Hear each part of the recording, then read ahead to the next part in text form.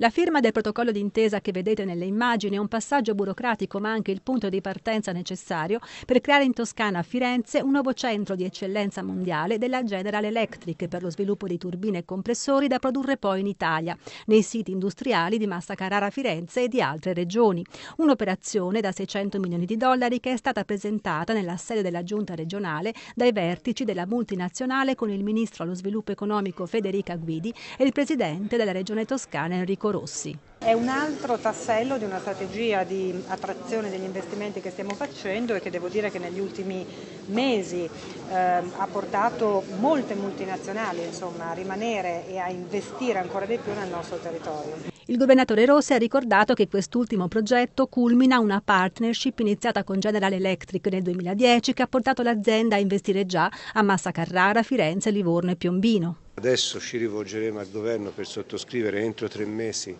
l'accordo di programma. È importante questo anche per le piccole e medie imprese perché eh, sempre di più l'attenzione di General Electric si rivolge ad un sistema di piccole e medie imprese caratterizzate da una forte capacità di innovazione ed anche una forte capacità di ricerca. Quindi una cosa davvero per la nostra regione tutta eh, che non esiterei a definire di valore storico. Nel nuovo centro di eccellenza toscano di General Electric saranno impiegate 500 persone fra ingegneri e altre figure di elevato profilo professionale, con l'obiettivo di aumentare in 5 anni gli attuali volumi produttivi del 50% e il fatturato di 1 miliardo e 700 milioni di dollari. Lo sviluppo dei prodotti inizierà quest'anno, la produzione vera e propria di turbine a gas e compressori centrifughi nel 2019.